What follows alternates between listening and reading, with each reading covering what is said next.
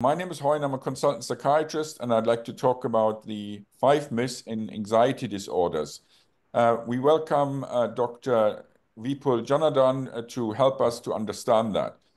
So, some people say anxiety disorders just are just a phase and go away on their own. Is this true?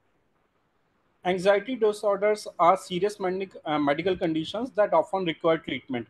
While some people may experience temporary anxiety in response to the certain events, like, uh, but the chronic anxiety disorder typically persist and can worsen if the treatment is not taken or any medical intervention is not done. Okay, thank you. People with, people with anxiety disorder should just avoid stressful situations. Is this correct? Avoidance is not a long-term solution. It can uh, actually make anxiety worse. Effective treatments such as cognitive behavioral therapy, medication focus on managing anxiety and developing coping strategies than avoidance. Some people say anxiety disorders are not that common.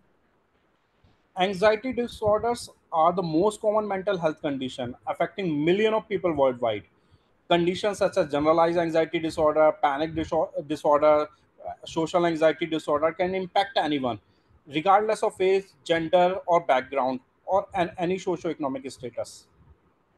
Right. Some people, you know, if you have an anxiety disorder, some people say just snap out and, you know, if you want to. Is that possible? Anxiety disorder are not something individual can uh, simply snap out of. They are involve complex interaction between the genetic environment and the psychological factors. Pro, uh, professional treatment and support are often necessary for managing the symptom for anxiety disorder. Right okay. And anxiety disorders are always are they always caused by traumatic events?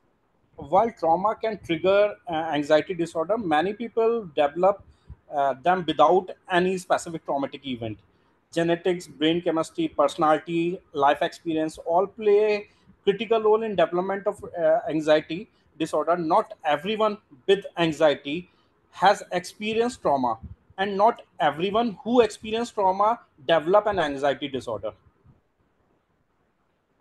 Okay, thanks so much.